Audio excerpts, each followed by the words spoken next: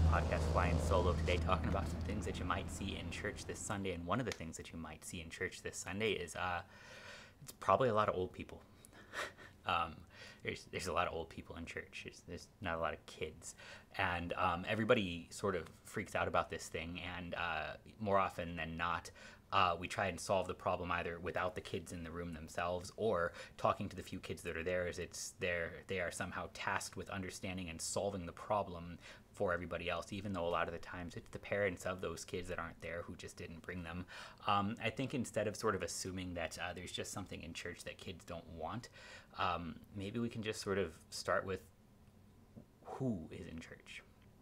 Um, because if we just sort of start with there's lots of old people in church well there's lots of reasons for, for kids not to go because like I, I don't know we we um, I'm chasing 40 and I already say we I don't know. Um, they uh, the, the, kids you guys probably don't have some of the same hobbies.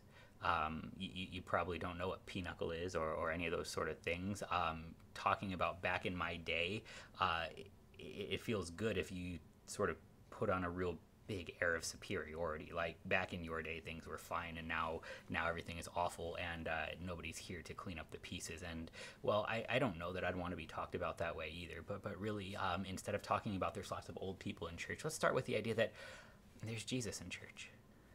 Jesus is in church to forgive sins, to save the dying, to uh, to, to grant hope in a, a, really hopeless place, and that's sort of the thing that. Uh, makes us want to go to church. See if it's just sort of a social club for a generation that's far gone, pack it in. Um, but when we talk about what you see in church, I think that the the temptation is to focus on the trappings instead of the thing that they're all pointing to.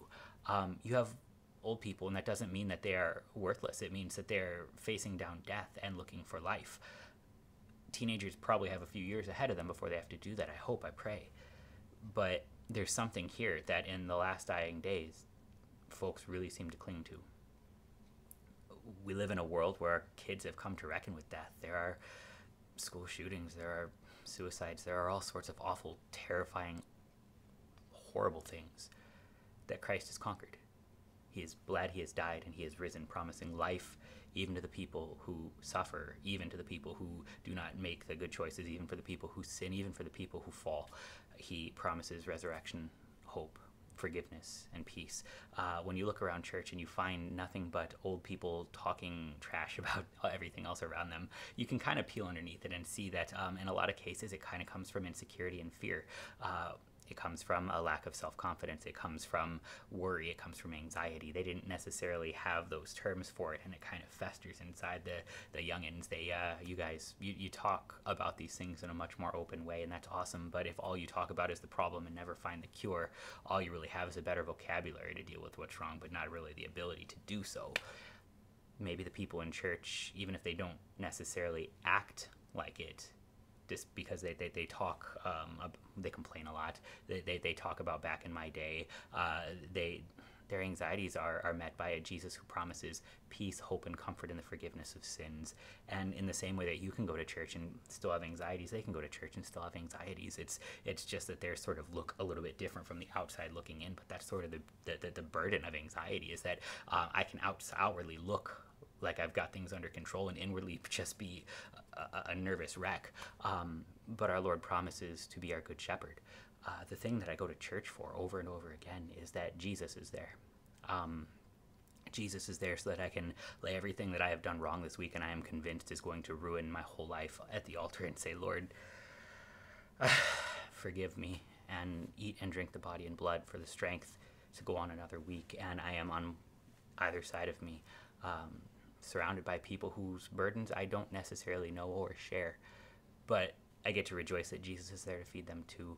Uh, you're not going to solve the problem of why there aren't enough kids in church by talking about why there are too many old people in church, but but rather what is there worth receiving for for somebody struggling with anxiety, for somebody scared of the world around them, uh, for somebody who is uh, is confronted by the devil, by the world, and by their own sinful flesh. Well, here we actually have a lot to talk about. We have baptism, we have the preached gospel, we have absolution, we have the Lord's Supper, we have the Word and the sacraments that do everything to, to save us from these things, everything to conquer these over and over again every single weekend. It's not measured. It's not measured in uh, being forgiven and then never ever falling back into sin. It's it's measured in knowing that I should strive to never fall back into sin. But if I do, if I do, there's always going to be forgiveness here. If I if I come in here on, on my worst of weeks into the sanctuary, I will be met with Jesus, not a culture that that has passed, but but Jesus for all of us, even the people I don't understand. And and um,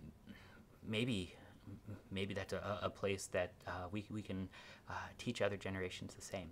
Um, because of all the, the differences in opinions um, and, and, and, all sort of the, the worry and, and talk about you know the, the good old days the, the older folks are delighted to see you guys in church. Because not just they want to see this passed on to another generation but because they're terrified of what you're up against just as much if not more so than you.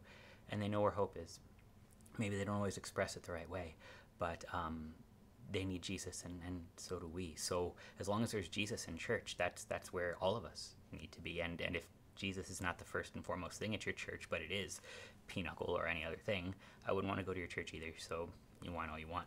Um, one of the things that you will see when you go to church this Sunday, it might be a lot of old people gathered around uh, Jesus, but they are singing the hymns of timeless praise that uh, join us to the resurrection of the body and the life everlasting and countless generations that have gone before us. It joins us to Abraham, uh, to, to Moses, to Elijah, to Peter, to Paul, uh, to all of the saints throughout all of time and space, and uh, even even the boomers. Um, I, I, think uh, one of the things that we should probably look at instead of each other and say this is wrong because there's not enough of one generation or too many of the other is just is there Jesus here? Because if there is, it, it's it's worth it's worth pointing to to somebody who's in the darkest of days, no matter how old they are.